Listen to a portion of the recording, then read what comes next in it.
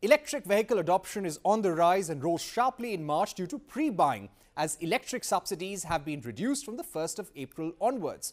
If you look at the data for FY24 and March 2024, and this is from a report by PNB Paribas, the state of Kerala is leading electric vehicle adoption in two and three wheelers. If you look at the top five states in terms of electric vehicle adoption, Kerala has the highest penetration of electric two-wheelers at 13.5%, followed by Karnataka at 12%, Maharashtra at 10%, Delhi and Tamil Nadu at 9.4% and 6% respectively. For the month of March 2024, these numbers are even higher. Kerala is close to 20% in terms of electric two-wheeler adoption, Karnataka at 18%, Maharashtra 17%, Delhi 16% and Tamil Nadu at 11%. If we look at the electric car segment, Kerala again leading the way with 5% penetration in FY24.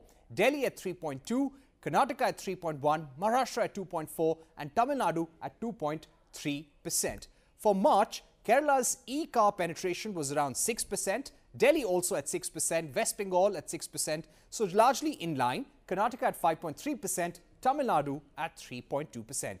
In terms of electric three-wheelers, the penetration is fast inching towards 100%. Delhi actually has 83% penetration of electric three-wheelers, Punjab at 82%, UP at 82, Bihar at 70%, Rajasthan at 61%. In the month of March, Delhi has seen e-three-wheeler penetration of 95%, Punjab at 87%, UP at 84%, Bihar at 74.5% and Rajasthan at 63%. But let's add a point here. Electric vehicle sales, especially in the two-wheeler segment, could contract in April because of lower subsidies before recovering in a few months. At the same time, that there could be a price rise of 9 to 15% if companies decide to pass on the loss of subsidy to the customer.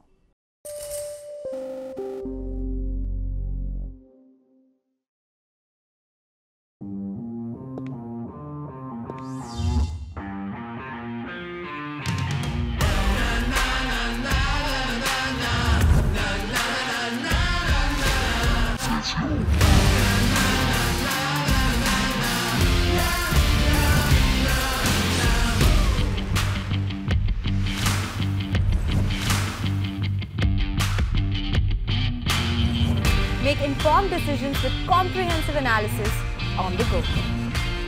Strengthen your portfolio with real-time market updates on the go. Create effective strategies with insightful expert opinions on the go.